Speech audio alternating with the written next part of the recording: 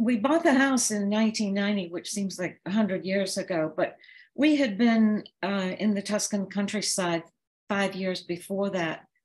We rented a house near Cortona by chance with a group of, with several writer friends. And it, this was long before the internet, of course. So the New York Review of Books on the back page had and still has houses for rent. It's mostly was then professors leasing their houses to people with sabbaticals. So I found this house. I didn't know Cortona from Borscht. So we rented this house and we were there for a month.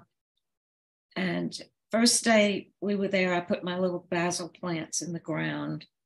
By the end of the time we were there, those plants had grown that much. Anytime you garden in Tuscany, it's amazing because the soil is so, so rich. But I felt like, you know, those little plants had put down their roots and maybe I had too. So after that, we rented houses in different parts of Tuscany. We were enamored of Tuscany, I think because it was what we knew the best because of the Renaissance art. So we rented houses and, and looked and looked and looked. There stories of that in Under the Tuscan Sun. But um, when we pulled up in front of Bramasole with the agent, I got out of the house and looked up and said, This is my house. This is where this is where I want to live. And of course, I hadn't seen what a wreck it was inside, but it was just one of those uh, metabolic connections with the place because the house is situated on the side of a hill where there's an Etruscan wall at the top, and down in the valley below is where Hannibal defeated the Romans 217 BC. So it's really situated there in time. And that just appealed to me very much that the place itself, where it looked out and what I would see. I looked up at the house and I said, I already know that room up there is my study. And it has been an inspiring place to, very inspiring place to write. I do feel a continuing presence with the people who lived there before me we just in the past two years have been doing a further renovation and in taking down uh, a bowed plaster wall, we found more frescoes. And when you see something like that, you can't help but feel connected with the person who did it. These frescoes were in a bedroom and they were just frescoes of draperies all around the room. So the bed was in there and it was you know, the trompe l'oeil of being surrounded by draperies. And they're beautiful swags and coral colored. And we just realized the house still has these um, these secrets to offer up, and they are all connected with people who lived there previously. Mostly, I find little things in the garden, digging up, trying to plant things I find little bits of pottery. I have a collection. There must be a hundred different kinds of little pieces of different colored ceramics. And I've said to Ed, I think some of the women who lived here must have been really angry because they've thrown out all these dishes out the door. But that that's the thing with old houses. I've always been enchanted with uh, old houses because of that sense of continuity the first uh, the first major surprise was the fresco we found in the dining room because it replicates the view of the lake that you can see from various parts of our land so that uh, art historians have told me that that fresco is um, contemporary with the origin of the house which was in the 1700s so that was kind of mind-blowing to me that I was washing down the walls just to repaint them. And this fresco started to emerge. And it was just, I thought it was a miracle. Since then, I found out like anytime you scrub down a house in Cortona, you find some fresco. It was just such a style in, in in these houses. Um, it, they're everywhere. And, you know, some go up into the 1900s. There, we found stenciled parts of rooms. So that kind of discovery was great. And then when we were redoing the floor in one room, taking up the floor because the water was coming in, we found this big square stone and it had a cross engraved in it and you know the christian ihs carved in it.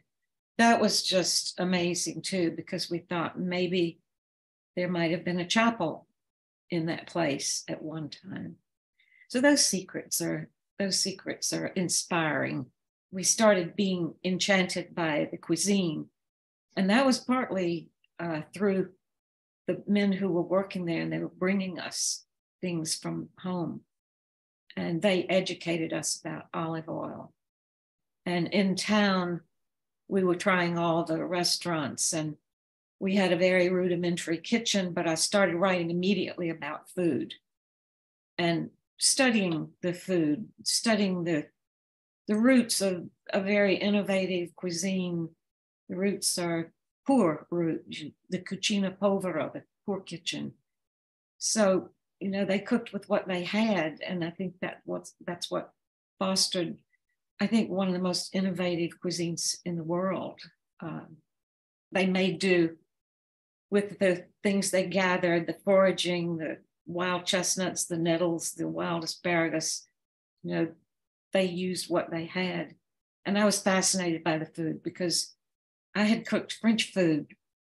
I cooked my way through Julia Child. I was enamored of French food. And then I got there, started meeting people, food people, and neighbors and friends who didn't even own cookbooks, but they made fabulous food.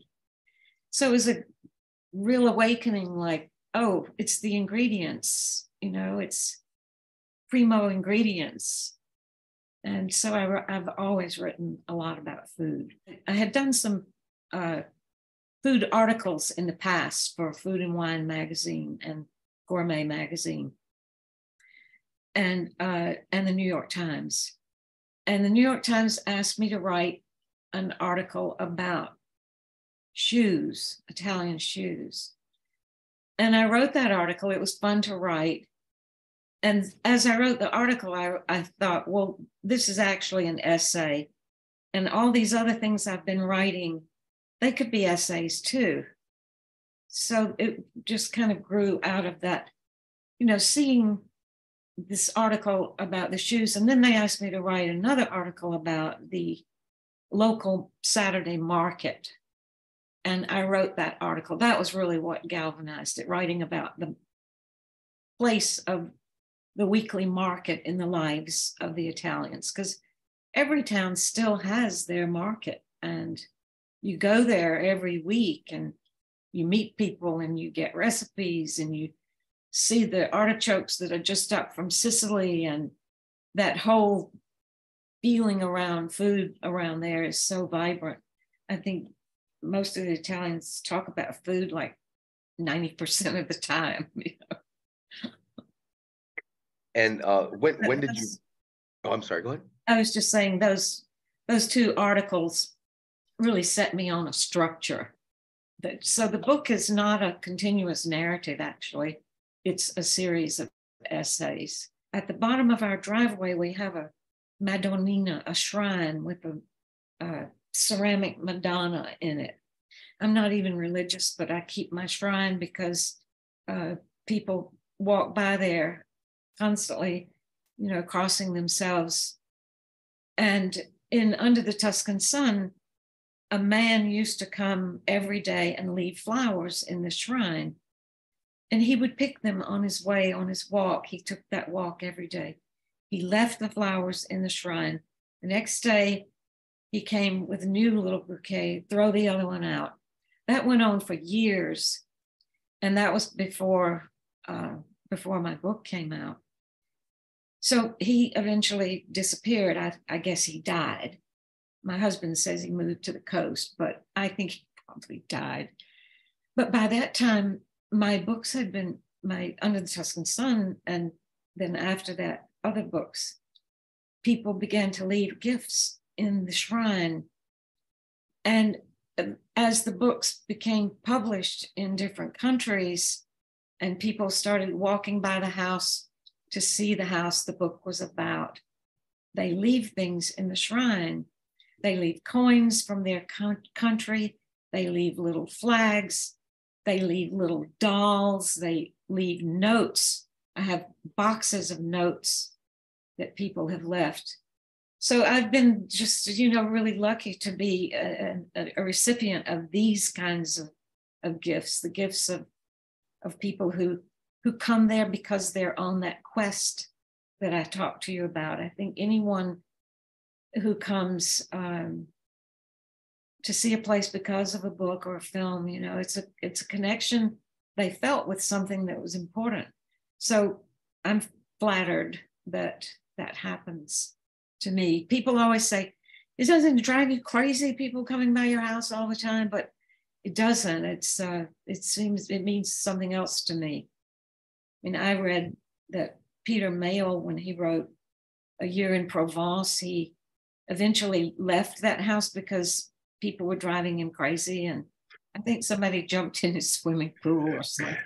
But I said to Ed, I think the people who come to our house must be nicer than the people who came to his because they have been just lovely. And it's been it's been a pleasure to meet people from all over the world who, who've read a book